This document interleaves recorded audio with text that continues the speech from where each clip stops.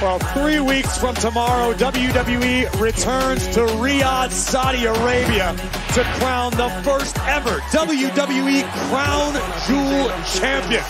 As the WWE Champion, the American Nightmare Cody Rhodes goes one-on-one -on -one with World Heavyweight Champion, the Ring General Gunther.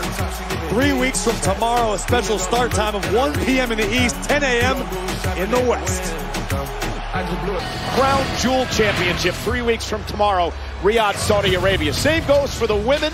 That woman, Nia Jax, the WWE Women's Champion, takes on the world champ from Monday Night Raw, Liv Morgan, to crown the first ever Crown Jewel Women's Champion.